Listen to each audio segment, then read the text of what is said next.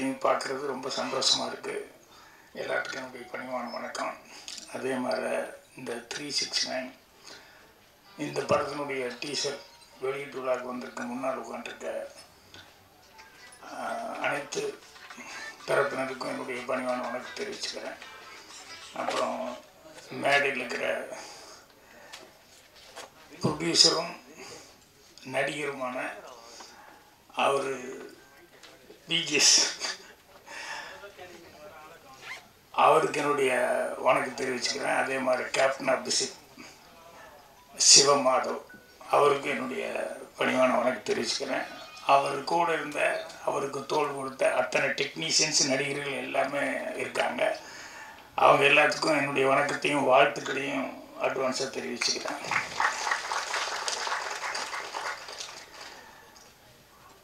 அப்புறம் சித்ரா லட்சுமணிலேருந்து ஆரியிலேருந்து இன்னும் நிறைய பேர் ஸ்டேஜில் முக்கியமான பிரமுகர்கள்லாம் இருக்காங்க. அவங்களுக்கு என்னுடைய வணக்கத்தை தெரிவிச்சுக்கிறேன். இந்த வஞ்ச புகழ்ச்சி அணி அப்படின்னு சொல்லி நான் ஸ்கூலில் படிக்கும்போது படிச்சிருக்கேன். அது இங்கே தான் நேரில் பார்க்குறேன் வந்ததுலேருந்தே எடுத்துன்னு பெருசாக போட்டு இருபத்தோரு வருடங்களுக்கு பின்னால் என்ன பண்ணேன் இருபத்தோரு வருடங்களுக்கு பின்னான்னு சொல்லி அப்பப்போ என் படம் ஓடிக்கிட்டே தான் இருக்குது எல்லா படம் இருபத்தோரு வருஷம் ஆச்சுன்னு சொல்லி திருப்பி திருப்பி மூணு தடவை அந்த டெய்லர் போட்டு ரிமைண்ட் பண்ணிக்கிட்டே இருந்தாங்க. அதுக்கு எனக்கு ஒன்றும் ஒன்றும் புரியல. ஏன்னா இவ்வளோ கேப் ஆகிப்போச்சா அப்படின்ட்டு. உண்மையிலேயே எனக்கு தெரியல. ஏதோ ஒரு அஞ்சாறு வருஷமாக தான் சும்மா இருக்க மாதிரி இருக்க ஒழிய நான் வந்து அவ்வளோ கேப் ஆன மாதிரி எனக்கு தெரியல. இப்போ இவங்கள்ட்ட சொல்லும்போது ஹீரோன்னு எங்க படத்தில் ஸ்க்ரீனில் வர்றவன் தான் ஹீரோவா ஸ்டோரி கதை வசனம் டைரக்ஷன் பண்ணுறது இல்லைங்க அவங்க தான் மெயின் படத்தில் ஹீரோவாக நடிக்கிறாங்க. அவ்வளோதான் ஆனால் அந்த நடிக்கிறதுக்கு உண்டானதெல்லாம் எல்லாம் பின்னால் இருந்து எல்லாம் செய்கிறதெல்லாம் அவங்கெல்லாம் ஒரு ஹீரோஸ் தானே. இப்போ நீ ஹீரோ இல்லையா? இல்லை நீங்கள் சொல்லிட்டே எப்படி? அப்புறம் இங்கே தான் யாரோ பேசும்போது அதாவது நான் ப்ரொடியூசர் தான் நினைக்கிறேன். அவர் தான் பேசினான்னு நினைக்கிறேன். ரொம்ப செக்ஸ் அப்படின்னு சொன்னாலே எல்லாம் கொஞ்சம் அப்படி இப்படின்னு நல்லா யோசிக்கும் இல்லையா? அதை வந்து ரொம்ப புனிதப்படுத்தி பேசினார். எனக்கு ரொம்ப ஆச்சரியமாக இருந்தது அதே பரவாயில்லையே அப்படின்ட்டு. நீங்கள் தான் நினைக்கிறேன் என்னை படைத்த அப்பா அம்மாவுக்கு அப்படின்னாரு. இல்லை படைத்தல் அப்படிங்கிறத வந்து எவ்வளோ அழகாக வந்து சொன்னார் நடை இது என்ன புதுசாக இருக்குது? ஏதோ கடவுள் படைத்தார்னு சொல்லுவாங்க. இவர் என்னை படைத்த அப்பா அம்மாவுக்குன்னு ஆரம்பித்தார் அது சிரிச்சுக்கிட்டேன் நான். அதே மாதிரி எடிட்டர் பேசும்போது கேமராமேன் திறம்பட வேலை செஞ்சுருக்காரு. இவர் இப்போ திறம்பட பண்ணியிருக்காரு அவர் திறம்பட பண்ணியிருக்காரு அப்படின்னு எல்லாத்த பற்றியும் சொல்லிகிட்டே வந்தார். ஜனங்களும் கடைசியில் படம் பார்த்துட்டு திறம்பட அதை சொல்லுவாங்க அதை சொல்ல மறந்துட்டாரு. அப்புறம் ஆரி பேசும்போது இவர் டைரக்டர் சொன்னார் இது வரைக்கும் பார்க்காத ஒரு பாகியராஜ் பார்க்காத. உண்மையிலே இது வரைக்கும் நான் கிறிஸ்டின் கிட்ட போய் போடல. இந்த மாதிரி ஒரிஜினல் தாடியிலையும் நான் நடிக்கலை. ஸோ ஃபஸ்ட் டைம் உண்மையிலேயே கிறிஸ்டின் கிட்ட போட அங்கே பாருங்கள் அதில் ஒரு பழக்க தோஷங்கிறது ஒன்று இருக்குல்ல. அது மாதிரி இவங்க வந்து டைலாக்லாம் சொல்லி கொடுத்தாங்க. எல்லாம் கேட்டுக்கிட்டேன் இதுக்கு ரிஹர்சல்லாம் பார்த்துக்கிட்டேன். அப்புறம் நடிக்கும்போது என்னை அறியாமல் யாராவது வந்தாலே நம்ம வணக்கம் தானே சொல்லுவாங்க. அது தோத்து ஸ்தோத்திரம்னு ஏதோ சொல்லி கொடுத்தாங்க. எனக்கு வரல. ஃபஸ்ட்டு ஷாட்லேயே எடுத்தோன்னே வணக்கம் அப்படின்ட்டேன். என்னை வந்து பேச வராங்க. அப்புறம் நான் ஐயோ ஸ்தோத்திரம்னு ஏதோ சொல்லி கொடுத்தாங்களே. அப்படி சொல்லி சரி டப்பிங்கில் பண்ணிக்கலாம். நான் கையை என்ன பண்ண முடியும்? அப்படின்னு சொல்லிட்டு. ஸோ அந்த கிறிஸ்டின் ஃபாதராக நடிக்கிறது கூட அவ்வளோ எவ்வளோ எல்லாம் யோசிச்சு அது அந்த வசனம் பேசும்போதெல்லாம் எவ்வளோ கேர்ஃபுல்லாக பேச வேண்டியிருக்குது அப்படிங்கிறது அதாவது கற்றுக்கிறதுங்கிறது கடைசி வரைக்கும் கற்றுக்கிட்டே தான் இருக்கணும். அதனால் இந்த கிறிஸ்டின் ஃபாதரை நடிக்க போகும்போது அந்த வார்த்தைகள் அதெல்லாம் சொல்லும்போது கொஞ்சம் புதுசாக இருந்தது. இப்படி ஒரு ரிகல்சர்லாம் கொடுத்த அப்புறம் நான் நடிக்க வச்சுட்டாங்க. அதுக்கப்புறம் வந்து ஒரு முக்கியமான பாயிண்ட் ஆரி வந்து சொல்லும்போது சொல்லியிருந்தார். அவர் நிறைய பேசினார். சித்திரலட்சுமி சொன்ன மாதிரி. அதில் விமர்சனத்தை பற்றியே பேசிக்கிட்டு இருந்தார். எனக்கு அதுதான் கஷ்டமாக இருந்தது. விமர்சனம் பண்ணுறதுக்கு தாங்க நம்ம படமே எடுக்கிறோம். நல்லா இருக்குது நல்லா இல்லை அப்படின்னு சொல்லி சொல்கிறதுக்கு தான் படமே எடுக்கிறோம். அதனால் கண்டிப்பாக சில பேர் கொஞ்சம் ஆர்ஸாக சொல்லுவாங்க. சில பேர் ஏன்னா பாராட்டும் போது எத்தனையோ பேர் ரொம்ப பிரமாமாக பாராட்டிக்கிறாங்க அதே நேரத்தில் சரியில்லை அவனுக்கு அவன் என்ன பண்ணுவான்? சீட்டை கிழிப்பா அதை பண்ணுவான் இதை பண்ணுவான் இதுதான் பண்ணுவான். அதனால் விமர்சனம் அப்படிங்கிறது அல்ல.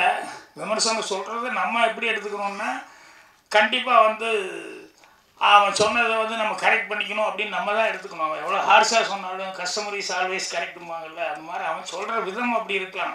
ஆனால் நம்ம தான் அது கரெக்டாக எடுத்துக்கிட்டு நல்ல படமாக எடுத்து செய்யலாம் அப்படிங்கிற மாதிரி யோசிச்சு அவர் சொல்லும்போது ஒன்று சொன்னார் நான் உண்மையிலே அதை நினச்சி எனக்கு ஃப்ளாஷ்பேக் மாதிரி ஞாபகம் என்னென்ன சினிமா தான் திட்டினாலும் சரி இது பண்ணாலும் சரி காசு கொடுக்குது அப்படிங்கிற மாதிரி சொல்லி சினிமா தான் அப்படி இப்படின்னு சொன்னார்.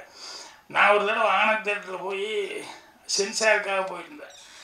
சென்சாருக்கு போனப்போ அது முடிச்சுட்டு வெளியே வரும்போது ஒரு அவசரமாக ஒரு ரெண்டு மூணு பேர் நின்றுருந்தாங்க என்ன சார் சார் சார் போயிடாதீங்க. ஒரு ரெண்டே நிமிஷம் சார். ஒரு அஞ்சே நிமிஷம் அஞ்சே நிமிஷம் ரெண்டு நிமிஷம் அப்படின்னு சொல்லிட்டு இல்லையா நான் போகணும் என்ன இது சார் இருங்க சார் இருங்க சார் அப்படின்னா ரொம்ப நேரம் இரு இருன்னு சொல்கிறாங்கன்னா இப்போ வந்துடுவாங்க இப்போ வந்துடுவாங்க யார் வந்துடுவாங்க எதுக்கு வந்துடுவாங்கன்னு தெரியுது அப்புறம் பார்த்தா ஒரு அஞ்சு நிமிஷம் சரி இது இவ்வளோ ரிக்வஸ்ட் பண்ணுறாருன்னு என்ன அப்புறம் அஞ்சு நிமிஷம் கழித்து ஒருத்தன் அவசரமாக ஆட்டோவில் வந்தாங்கன்னா பார்த்தா ஒரு பெரிய மாலை. இந்த மாலை வாங்குறதுக்கு அனுப்பிச்சிருக்கா அது வந்தோடனே எனக்கு ஃபோன் தான் வெயிட் பண்ண சொன்னேன் சரி எது இங்கே திடீர்னு ஒரு மாலை போடுறேன். அப்புறம் மாலை போட்டு சார் எனக்கு லைஃப் சார் நீங்கள் எத்தனை படம் சார்? உங்கள் படங்கள் என்ன நான் என்ன லைஃப் இல்லை சார் நான் பிளாக் டிக்கெட்டில் சம்பாதிச்சு சார் அவ்வளோ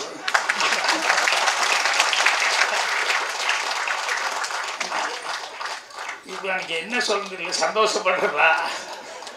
அவனை திட்டுறதா? பிளாக் டிக்கெட் விட்டவனை என்ன சொல்ல இல்லை ஆனால் ஒரு விதத்தில் பெருமையாக இருந்து ஆனால் ஒரு விதத்தில் அவனுடைய நன்றி அவன் எப்படி தெரிவிக்கிறான் பாரு. நான் பிளாக் டிக்கெட் அது வேற தொழில். பட் இவர் படத்தை விற்று நான் இவ்வளோ சம்பாதிச்சிருக்கேன்னு அப்படின்னு சொல்லி சொல்லும்போது உண்மையிலேயே நினச்சிக்கிட்ட பாரி சொன்ன மாதிரி கரெக்டு தான். சினிமா வந்து எப்படி வேணாலும் எல்லாத்தையும் வந்து எந்த எல்லா விதத்துலையும் இது பண்ண போகுது. இப்போ படம் மேட்ருக்கு வர்றான் இந்த காதில் பூ சுத்துறதுன்னு சொல்லுவாங்க இல்லையா? அந்த காலத்தில் வந்து ஏதாவது ஒருத்தர் நடக்காத ஒன்று சொல்லிடுச்சு அப்படின்னு சொன்னோம்னா உடனே காதில் பூசுக்கிறா பாருன்னு சொல்லுவாங்க. ஆனால் உண்மையில் பார்த்தோம்னு சொன்னோம்னா நிறைய விஷயங்கள். அது வந்து அப்படி எதெல்லாம் அப்படி நினச்சோமோ அதெல்லாம் வந்து இன்றைக்கி கரெக்டாக நடந்துக்கிட்டே வந்துட்டுருக்கு. நான் சின்ன வயசில் படம் பார்க்கும்போது இந்த ராமாயணம் படம் இந்த மாதிரிலாம் வரும்போது அது அந்த போர் நடக்கும். போர் நடக்கும்போது இங்கிருந்து ஒரு தம்பு விடுவான் அங்கிருந்து ஒரு தம்பு விடுவான்.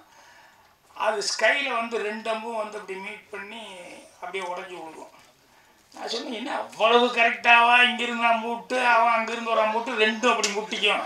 என்னங்கடா காதில் பூசித்துறானா அப்படின்னு அப்போ நினச்சிக்கிட்டேன். அப்புறம் திடீர்னு வார் வந்தது. அப்போ ஈராக் மேலே வார் வந்தப்போ அமெரிக்கன் வந்து பண்ணும்போது ஈராக்லேருந்து ஒரு ஏவுகணை அனுப்புகிறான் ஸ்கட்னு சொல்லி ஒரு ஏவுகணை அனுப்புகிறான் இவன் ஷிப்பில் இருந்து அமெரிக்கன். இவங்க ஒரு ஏவுகணை. ரெண்டும் அப்படி மீட் பண்ணி டம்முன்னு. அப்போ தான் எனக்கு அப்படியே நம்ம படம் பார்க்கும்போது காதில் பூ சுத்துற மாதிரி இருக்கடான்னு நம்ம நினச்சேன் அந்த காலத்தில். ஆனால் நீ கண்ணு கேட்டாப்புல உண்மையிலேயே அப்படி பார்க்குற மேடா அப்படின்னு நினச்சிட்டேன். அதே மாதிரி எப்போ பாரு சிந்து பாத்து. அந்த கதை வந்து சின்ன வயசுலேருந்து அது இன்னும் வந்துட்டு இருக்குன்னு நினைக்கிறேன். அது கடைசி வரைக்கும் சிரஞ்சீவியாக அது இருந்துகிட்டு இருக்கு. அதில் வந்து அந்த மூசா வந்து அந்த மாய கண்ணாடிக்கிட்ட சிந்து பாத்து எங்கே இருக்கிறான்னு சொல்லு அப்படின்னு சொல்லி ஏதோ ஒன்று அப்படி தூவான் உடனே அது காமிக்கும். எங்கே வந்துட்டு இருக்காரு சிந்து பாத்துன்னு ஸோ இது என்ன? எந்த மாய கண்ணாடி எங்கே காமிக்க போகுது அப்படின்னா அதுக்கப்புறம் பார்த்தா டிவி வந்துருச்சு. இன்றைக்கி ஆஸ்திரேலியா மேட்ச் நடக்கு எங்கே நடக்குதுன்னு ஒரு ரிமோட் கண்ட்ரோலில் ஈஸியாக நம்ம பார்த்துட்டு இருக்கோம். இப்படி எது எடுத்தாலும் எது நடக்காது அப்படின்னு நினச்சோமோ அது நடக்காது. பூராமே இன்றைக்கி நடந்துருக்கு. அப்போ தான் ஒன்று படிச்சது ஞாபகம் அதாவது மனிதனுடைய கற்பனைகள் எல்லாமே கண்டிப்பாக ஒரு நாளைக்கு நிஜமாகும் அப்படின்னு சொல்லிட்டு அதனால் எனக்கு ஒரு சின்ன கற்பனை வரும் அப்பப்போ. என்னென்னா இந்த இந்த பள்ளிக்கொண்ட பெருமாள் படுத்துட்டு பாரு கடலில் இந்த பாம்பு படுக்கையில் படுத்துட்டு பாரு. இவர் பாட்டில் க இது பண்ண என்றைக்காவது ஒரு நீர்மூழ்கி கப்பல் உள்ளே போகும்போது டம்முன்னு அதை முட்டிடுமோ அது மாதிரி ஏதாவது நடந்துருமோ? ஏன்னா ரொம்ப நாள் யாரும் டிஸ்டர்ப் பண்ணாமல் இருக்காங்க ஏதாவது நடந்துருமோ அப்படின்னு. ஏன்னா சில நேரங்களில் சும்மா பாட்டுகள்ங்கிறது இப்படியெல்லாம் படிக்கும்போது நம்ம வந்துடும் அதே மாதிரி அந்த காலத்தில் சொல்லும்போது நான் கேட்டேன். என்னென்னா விவேகானந்தர் எப்போ பார் ராமகிருஷ்ண பரமஹம்சர்கிட்ட சண்டை போட்டு எப்போ பார் கேட்டுக்கிட்டு இருப்பார். என்னையா சும்மா சாமி சாமின்னு இருக்க நீ காமியா காமியா அப்படின்ட்டு இருப்பார். அப்புறம் அது ஒரு படமாகவே பார்த்தேன். சின்ன வயசில் ஸ்கூலில் வந்து காமிச்சாங்க. அவர் நிறைய வா அப்படின்னு சொல்லி அவரை கூப்பிட்றாரு. வீட்டுக்குள்ளே கூப்பிட்டு போகிறாரு அப்புறம் கூப்பிட்டு போயிட்டு அவர் காமிச்சார் அப்படிங்கிற மாதிரி சொல்லி முடிச்சாங்க. ஓ உண்மையிலேயே அவர் கூப்பிட்டு போய் கரெக்டாக காமிச்சிட்டார் போலக்கு அப்படின்னு சொன்னேன். அப்புறம் பின்னால் வர வர யோசிக்க ஆரம்பிச்சேன். ஆமாம் ஒரு சாமியவே ஒருத்தன் பார்த்துட்டான்னா அதை பற்றி ஏன் வெளியே சொல்லாமல் இருக்கிறான்? விவேகானந்தர் எங்கேயுமே அதை பற்றி வெளியே சொன்ன மாதிரியே தெரியல. அவர் என்ன சொன்னாலும் எப்போ சொன்னாலும் இந்த நாட்டு இளைஞர்கள் அவங்க முதுகெலும்பு அவங்களுக்கு நம்பிக்கைங்கிறது ரொம்ப முக்கியம். அப்படின்னு சொல்லி நாடு முக்கியம் நம்பிக்கை முக்கியம்னு இளைஞர்களுக்கு இதுதான் அட்வைஸாக சொல்லிட்டு இருந்தார் நான் சாமியை பார்த்தேன். அது உண்மையிலேயே பவர்ஃபுல் அப்படின்னு சொல்லி அவர் ஏன் சொல்லு அப்படிங்கும்போது உண்மையில் சாமியை பார்த்தாருன்னு ஒரு சந்தேகம் வந்துடுது ஏன் சொல் சொல்லும்போது அந்த நேரத்தில் கேட்டுக்கிறோம். கரெக்டு தான் அப்படின்னு சொல்லிட்டு. அப்புறம் பின்னால் வந்து அதை யோசித்து பார்க்கும்போது அது ஒரு கொஷின் மார்க் மாதிரி வந்துடும் அதே மாதிரி ஒன்று பண்ணும்போது சொல்லுவாங்க. இது பூர்வ ஜென்ம பலன் அப்படின்னு சொல்லிடுவாங்க அதையும் நான் இப்படி யோசிச்சு யோசிச்சு பார்ப்பேன். பூர்வ ஜென்ம பலன் அப்படின்னு சொல்லிட்டு. ஒரு நாள் என் பக்கத்தில் ஃப்ளைட்டில் வரும்போது ஒரு சாமியார் உட்காந்துருந்தார் அதனால் ஒரு இதோட பார்த்தாரு என்னை பார்த்து தெரிஞ்சுக்கிட்டாரு சிரித்தார் அப்புறம் நானும் அப்படியே சிரிச்சுட்டு அவரையே பார்த்தேன். சரி ரொம்ப நாளாக இருக்கிற சந்தேகம் கேட்டுருவோம் அப்படின்னு சொல்லிட்டு ஒரு பேப்பரில் எழுதி அவர்கிட்ட மெல்ல கொடுத்தேன். அவர் வாங்கி படித்தார் அப்படி ஒரு சின்ன ஸ்மைலிங் கொடுத்தாரு. சரி ஏதோ சொல்ல போகிறான்னு நினச்சேன். படத்தில் காமெடி பண்ணுறீங்க அதே மாதிரி எல்லா இடத்துலையுமே காமெடி பண்ணுறீங்க அப்படின்னாரு. நான் எழுதி கொடுத்ததுக்கு பதிலே சொல்லல அவர். நான் என்ன எழுதி கொடுத்தேன்? பூர்வ ஜென்ம பலன் அப்படின்னு சொன்னோம்னா இன்றைக்கி ஒரு கஷ்டம் வருதோ சந்தோஷம் வருதோ இதெல்லாம் வருதுங்கிறது ஒரு பூர்வ ஜென்ம பலன் அப்படின்னு சொல்லி சொன்னோம்னா ஒருத்த முதல் முதல் எடுத்த ஜென்மத்தில் சந்தோஷப்படுறான் இல்லை அழுகிறானா? அதுக்கு என்ன காரணம்? அது எந்த ஜென்மத்தோட பலன்? அப்படின்னு கேட்டேன். இல்லை அது அப்பா அம்மா அது அப்படின்னு ஏதாவது சொன்னோம்னா அப்பா அம்மாவுக்கும் முதல் ஜென்மம் ஒன்று இருக்குமில்ல அப்போ அதில் அவங்களுக்கு கஷ்ட நஷ்டத்துக்கு என்ன காரணம்? இதைத்தான் எழுதி கொடுத்தேன் அவர் இதை காமெடின்ட்டாரு இன்னொரு இடத்துல வேற ஒருத்தர் அதே மாதிரி பெரிய சாமியார் நாங்கள் எதை வேணா கேட்கலாம் எதை வேணா கேட்கலாம் வாங்க வாங்கன்னு கேட்டுக்கிட்டே இருந்தார் கூப்பிட்டே இருந்தார். அவர்கிட்ட போனப்போ இதையே கேட்டேன். அப்போ கேட்டப்போ அதே மாதிரி உங்களை மாதிரி ஆடியன்ஸில் உட்காந்துருங்க இப்படி ஓப்பனாக கேட்டேன். கேட்டேன் அப்போ உங்களுக்கெல்லாம் இந்த சந்தேகம் இல்லையா ஆமாம் வருது. அப்படின்னாங்க. பின்ன கேளுங்களேன் அப்படின்னு.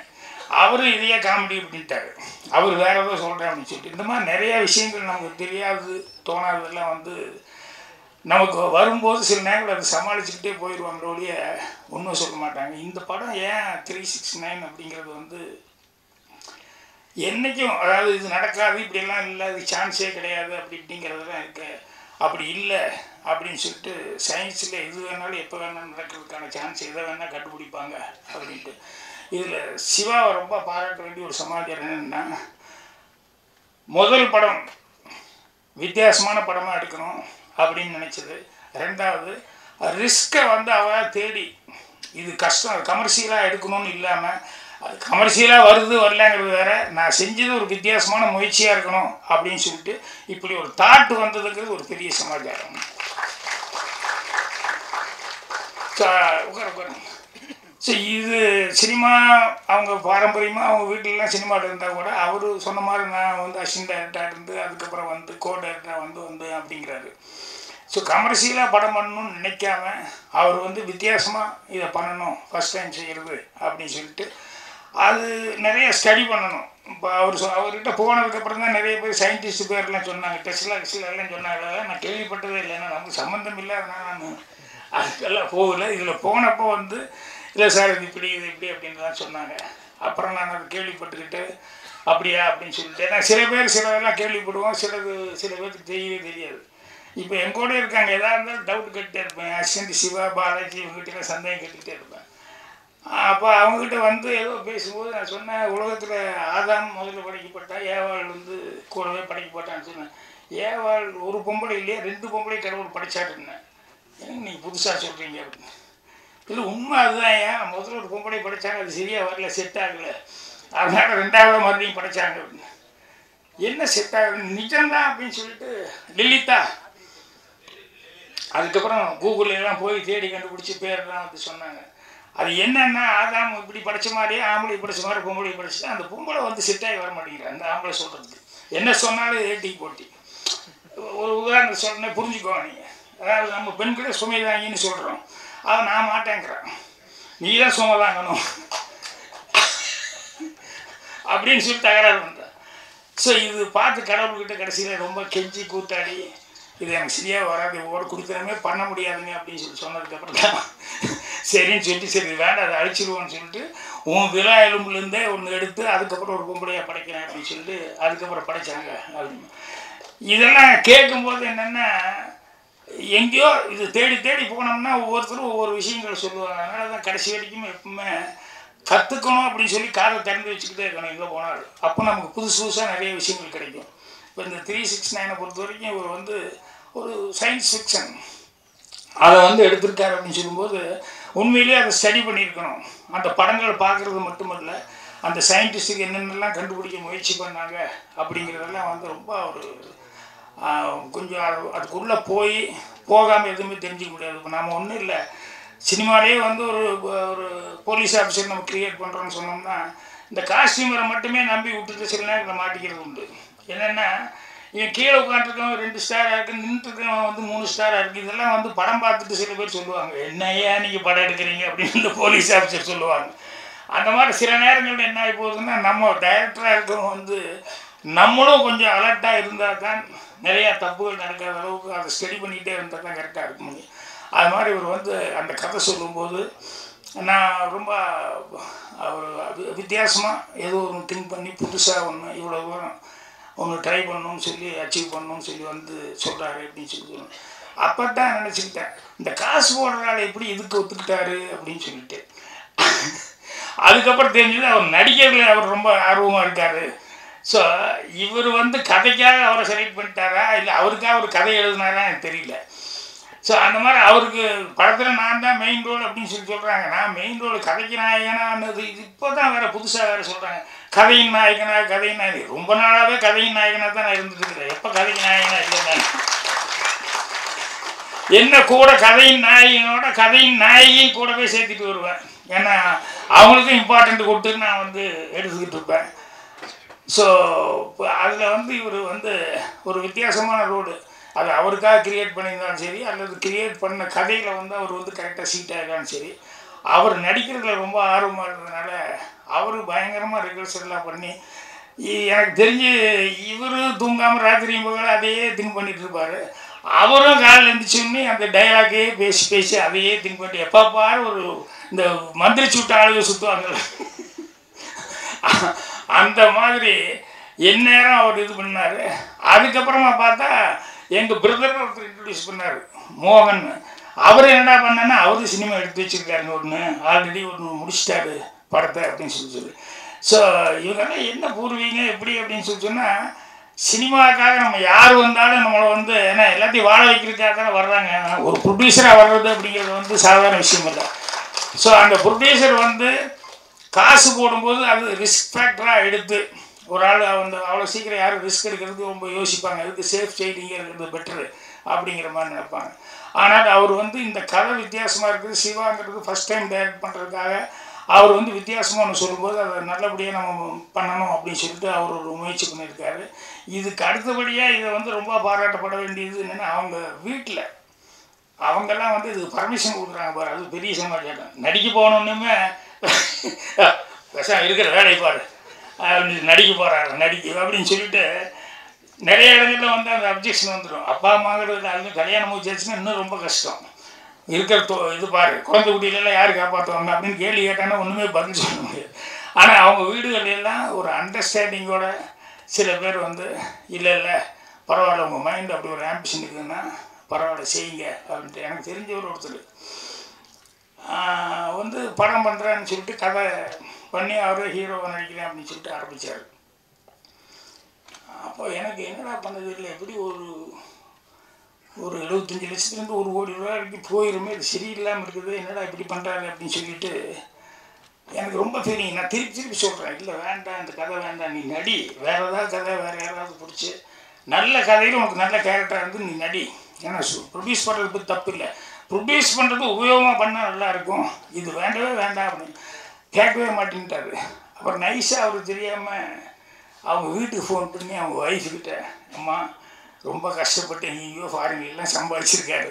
இது அநியாயமாக தொலைச்சிட போகிறாரு எனக்கு கண்ணுக்கு தெரிஞ்சு தெரியுது. ஏதாவது ஒரு விதத்தில் நிறுத்த முடியாது. இல்லைங்க ஆசைப்படுறாரு பரவாயில்ல பண்ணிட்டுமே அப்படின்னு. ஒரு கோடி ரூபா போச்சு. ஆனால் அவங்க ஒய்ஃப் என்ன சொன்னாங்கன்னா அதை சொல்லிவிட்டு இது கடைசி வரைக்கும் அவர் மைண்ட்லேயே இருந்துருந்தா பைத்தியம் முடிச்ச மாதிரியே சுற்றிட்டு இருப்பாருங்க. அதனால் போய் முட்டி மோதிட்டு அதுக்கப்புறம் தெரிஞ்சுக்கிட்டு என்னங்கிறது. மறுபடியும் அவர் சம்பாதிச்சுதான் நம்பிக்கை இருக்குது அதனால் பண்ணட்டும் அப்படின்னு சொன்னாங்க இது மாதிரி சில பேர் வந்து அண்டர்ஸ்டாண்டிங்கோடு இருக்கக்கூடிய இப்போ வீட்டுக்கிறவங்க வந்து அண்டர்ஸ்டாண்டிங்கோடு இருக்கிறதுங்கிறது பெரிய சமாச்சாரம். அவங்க ரெண்டு பேர் வீடுகள்லேயும் வந்து இந்த மாதிரி வந்து ரியல் எஸ்டேட் அது இது நிறைய சம்பாதிச்சிட்டு இருக்காங்க அவங்க. அது சம்பாதிச்சிருந்தா கூட இதில் இந்த மாதிரி ரிஸ்க் எடுக்கிறத வந்து பரவாயில்ல அவங்க ஆசைப்படுறாங்க செய்யட்டும் தப்பு இல்லை அப்படின்னு சொல்லிட்டு என்கரேஜ் பண்ணனால அவங்கள தான் முதல்ல பாராட்ட வேண்டியிருக்குது ஸோ அவங்களுக்கு அவர் வந்து அவங்களுக்கு நம்பிக்கை கொடுத்து அவங்க வந்து அவர் படம் பண்ணுங்க அப்படின்னு சொன்னாங்க. அவர் வந்து சிவா மாதிரி ஆட்களை வச்சு படம் பண்ணலாம் அப்படின்னு சொல்லிட்டு தைரியமாக வந்து இந்த சிவா வந்து ரொம்ப ரிகல்சர் அதாவது ஒரு ரெண்டு நாள் ரிகல்சர் பாட்டு மூணாவது நாள் ஷூட்டிங் மூணு நாள் வேணும் சார் அப்படின்னு சொல்லிட்டு போனோம். ஆனால் எனக்கு ரெண்டு நாள் ரிகல்சர் மூணாவது நாள் ஷூட்டிங்கு பட் ஏறக்குறைய இவர் வந்து ஒரு ஒரு ஒரு மாதத்துக்கு மேலேயே வந்து எல்லாத்தையும் வச்சு ரிகல்சர் பண்ணியிருக்காரு. ஏன்னா ஒன்றரை மணி நேரம் நான் ஸ்டாப்பாக நடந்த நடுவில் கட்டு கிட்டு ஆகி போச்சு. மறுபடியும் நிறுத்திட்டு கேமரா ஸ்டார்ட் பண்ணுவோம் அப்படின்லாம் பண்ண முடியாது. அதனால் ஒன்ஸ் காலையில் ஸ்டார்ட் பண்ணாங்க. ஸ்டார்ட் பண்ணியாச்சுன்னா அதுக்கப்புறம் வந்து படம் முடிகிற வரைக்கும் நடுவில் வந்து இந்த கேமரா ஷிஃப்டிங் அது இதுதான் டைம் ஒழிய வேறு எதுவுமே டைமிங்கே கிடையாது. அவுட்டோரில் இருக்கிறது சில கேமரா உள்ளே வரணும். நாங்கள் வந்து துணியை வந்து அந்த கோட்டு வந்து எனக்கு அங்கி ஒன்று கொடுத்துனாங்க அதை வந்து மறுபடியும் முதல்ல ஒன்றும் இல்லாமல் இருப்பேன். அப்புறம் அந்த அங்கி போட்டுக்கணும் அப்படிங்கும்போது அதுக்கு உள்ளே போய் எடுக்கணும் அப்படிங்கும்போது இதுதான். இதை தவிர்த்து பாக்கி எதுக்குமே டைம் இல்லை. ஸோ அதனால் ஓப்பனிங் எல்லாம் கூட ஆரம்பிக்கும் போது எனக்கு உண்மையிலே இவர் டென்ஷனாகவே இல்லை. இவர் ரொம்ப நம்பிக்கையோடு இருக்கார். அவரும் ரொம்ப நம்பிக்கையோடு இருக்கார். எனக்கு மட்டும்தான் அது என்னடா அது கரெக்டாக பண்ணிடுவாங்களா கரெக்டாக பண்ணிடுவாங்களா? ஒன்றரை மணி நேரத்தில் எங்கேயாவது எவனா ஒருத்தன் சொதப்புனா என்ன ஆகிறது? இப்போ நானே ஸ்தோத்திரம் வரல எனக்கு வணக்கம் தானே வந்தது. அந்த மாதிரி எங்கிட்ட எவனாவது வந்து நடிக்கும்போது சார் நான் இப்போ நான் பேசணுமா நீங்கள் பேசணுமான்னு ஏதாவது ஒருத்தர் கேட்டானா ஏன்னா சில பேர் சினிமாவில் அந்த மாதிரிலாம் இருக்காங்க. என்னென்ன மௌனகீதங்கிறப்போ ஒரு ஆள் நடிக்கணும் நடிக்க ரொம்ப தொடர்படுத்திட்டு இருந்தான். அப்புறம் லைஃபே இது இல்லைன்னா அவ்வளோதான் தீர்ந்தது அப்படிங்கிற அளவுக்கு ஏதாவது பண்ணிக்குவாங்கிற அளவுக்கு இருந்தான். சரி வாயான்னு சொல்லி அந்த சரஸ்வதி ஸ்டோரில் அங்கே ஆஃபீஸ் செட்டப்பில் வந்து ஒரு டேபிள் உட்காருன்னு சொல்லிட்டு ஒரு டைலாக் எல்லாம் கொடுத்துக்கிட்டு எப்படியோ பேச வச்சு பண்ணிட்டேன். அப்போ அவன் புதுசு சினிமாவுக்கு வந்ததில்ல அவன் வந்து டப்பிங் பேச சார் வேறு யாராவது பேசினா நான் நடிக்கல வேறு யாரோ அப்படின்னு சொல்லி நினச்சிக்குவாங்க சார். அதனால் நானே பேசிடுறேன் சார். என் வாய்ஸ் இருந்தால் தான் சார் நம்புவாங்க அப்படின்னா. சரி வாப்பா அப்படின்னு சொல்லிட்டு அப்புறம் அவனையே டப்பிங் பேச சொன்னேன். அப்போல்லாம் வந்து அப்போ தான் இந்த இந்து சிஸ்டம் போய் ஃபில்ம் வந்து ஒவ்வொரு லூப்பாக நூறு அடி இரநூறு அடி இப்படி கட் பண்ணியிருப்பாங்க. அதுக்கு டப்பிங் பண்ணுறது போய் அப்புறம் கம்ப்யூட்டர்னு ஒன்று வந்தது. அதில் அப்படியே வரும் அப்புறம் மறுபடியும் ரிவர்ஸ் போகும். அப்புறம் மறுபடி பிகினிங் வரும். ஒரு தடவை ஒரு டேக்கு ஃபுல்லாக வந்தது அப்படின்னா ஒரு நூறு அடி நூற்றம்பது அடிக்கு பேசுவோம். அப்புறம் சரியில்லைன்னு சொல்லி சொன்னோம்னா மறுபடியும் அது ஆட்டோமேட்டிக்காக ரிவர்ஸ் போகும். இவன் பேசிகிட்டு இருந்தால் சரியாக வரல. இவனுக்கு சரியாக லிப்பு பிடிச்சி பேச முடியல. இப்போ நிறுத்திட்டு ரிப்பி ரிவர்ஸ் போகும்போதுல ரிவர்ஸ் போகும்போது கொஞ்சம் ஸ்பீடாக ஓட்டுவாங்க வரும்போது தான் நார்மல் டுவெண்ட்டி ஃபோர் மினிட்ஸ் அதுக்கு மேலே நார்மலாக வரணும். ரிவர்ஸ் போகிறது வந்து கொஞ்சம் ஸ்பீடாக போகும். இவன் இந்த ரிவர்ஸ் போகும்போது அவசரமாக பேச ஆரம்பித்தான் அப்புறம் வந்து பேச முடியல. அப்புறம் சார் அண்ணன் இவங்கெல்லாம் என் மேலே ஆரம்பத்துலேருந்தே போகணும் யார் அசிஸ்டன்ட் டேரக்டர் மேலே? நான் நடிக்க வந்ததுலேருந்தே இவங்களுக்கெல்லாம் எனக்கு பிடிக்கல. வேறு என்ன பாருங்க எவ்வளோ ஸ்பீடாக ஓட்டுறாரு. இப்படி ஓட்டினா நான் எப்படி படிக்க இது பண்ண முடியும் அப்படின்னு. இப்போ இவனை என்ன பண்ண முடியும் இருந்தால சரி எப்படியோ சினிமாவில் நடிச்சுட்டேன். போது சந்தோஷம்.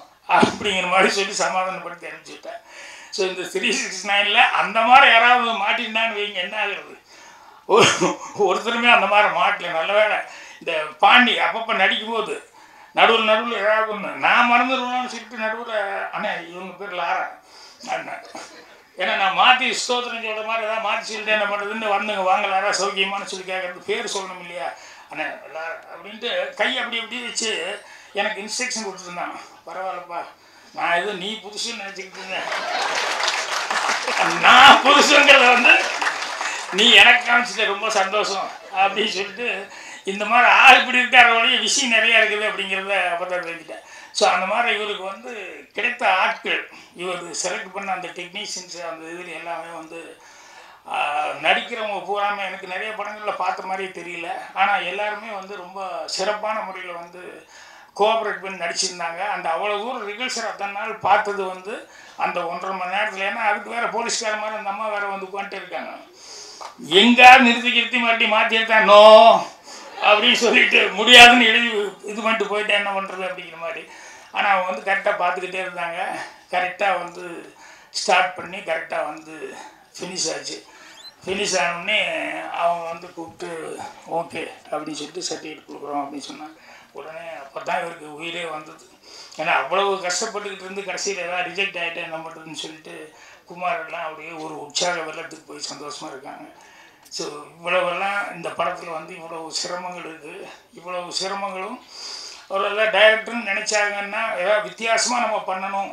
அப்போ தான் இது நல்லா இருக்கும் அப்படின்னு சொல்லிட்டு. ஏன்னா எல்லாருமே சினிமாவில் வர்றவங்க கண்டிப்பாக வித்தியாசமாக பண்ணதை நினைப்பாங்க. ஆனால் வித்தியாசமே இல்லைன்னு ஜனங்களுக்கு தான் தெரியும். அவங்க தான் சொல்லி இது எத்தனை தடவை பார்த்தாச்சு? அப்படின்னு அந்த மாதிரி சொல்லுவோம் ஆனால் இந்த படத்தை பற்றி உங்களுக்கு அப்படி சொல்ல முடியாது. என்னென்னா நீங்கள் தொட்டிருக்கிற கடமை வந்து இது வரைக்கும் சயின்ஸ் ஃபிக்ஷன் அப்படி இப்படின்னு படங்கள்லாம் வந்திருக்கு. பட் இவர் எடுத்துக்கிட்ட அந்த தீம் ஏன்னா அது நான் சொன்ன சொல்லும்போது படம் பார்க்குறது அந்த இன்ட்ரெஸ்ட் போயிடாதனால படம் பார்க்கும்போது இன்ட்ரெஸ்டாக இருக்கிறதுனால அதுதான் நான் முதல்ல சொன்ன உதாரணம் சொன்னேன். இந்த ஸ்கட்டெல்லாம் வந்து மோது அப்படிங்கிறது அந்த காலத்தில் அப்படி கிடையாது அப்படின்னா அப்புறம் சினிமாவில் வர்றது ரியல் லைஃப்பில் நம்ம பார்க்கும்போது இது உண்மைதான் அப்படின்ட்டு. அந்த மாதிரி இது ஒன்று பின்னால் வரப்போகிறத வச்சு அதை பேஸ் பண்ணி இவர் வந்து ரொம்ப அதை பிக்சர்லாம் ரிசர்ச் பண்ணி பண்ணியிருக்காரு. ஸோ அவனுடைய அந்த முயற்சிக்கே முதல்ல பாராட்டுகளை தெரிவிக்கணும். அதுக்கடுத்து அந்த உழைப்பு கடுமையான உழைப்பு. அவர் கூட இத்தனை பேர் அந்த டீம் இருக்கும் அத்தனை பேருமே அவ்வளோ கடுமையாக உழைச்சிருக்காங்க. அவ்வளோ நாள் ரிஹர்சல் பார்த்துருக்காங்க.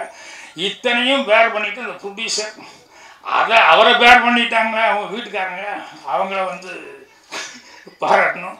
ஸோ ரசிக பெருமக்கள் எல்லாருமே நீங்கள் படம் பார்த்துட்டு நீங்கள் உண்மையிலேயே ஒரு நல்ல படம் அப்படின்னு சொல்லும்போது நல்ல படத்துக்கு உண்டான அந்த வரவேற்பு கொடுப்பீங்க அப்படின்னு சொல்லி இது பண்ணிக்கிறேன். நன்றி வணக்கம்.